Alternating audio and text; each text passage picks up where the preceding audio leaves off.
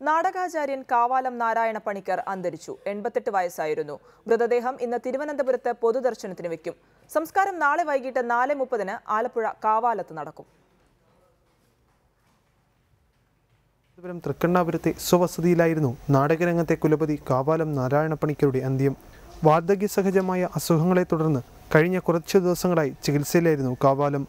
രണ്ട് ദിവസം മുമ്പാണ് കാവാലത്തെ ആശുപത്രിയിൽ നിന്നും ഡിസ്ചാർജ് ചെയ്ത് വീട്ടിലേക്ക് മാറ്റിയത്. തുടർന്ന് രാത്രിയോടെ രോഗം മൂർച്ഛിക്കുകയും അന്ത്യം സംഭവിക്കുകയുമായിരുന്നു. കാബാലം സ്ഥാപിച്ച ഭാഷാഭാരതി സെന്ററിൽ മൃതദേഹം പൊതുദർശനത്തിന് വെക്കും. തുടർന്ന് ഉച്ചയോടെ ബി ജെ ടി ഹാളിലേക്ക് മാറ്റും. ചൊവ്വാഴ്ച രാവിലെ വിലാപയാത്രയായി കാവാലത്തേക്ക് കൊണ്ടുപോകും. വൈകുന്നേരം നാല് മുപ്പതിന് സംസ്കാര ചടങ്ങുകൾ നടക്കും. റിപ്പോർട്ടർ തിരുവനന്തപുരം.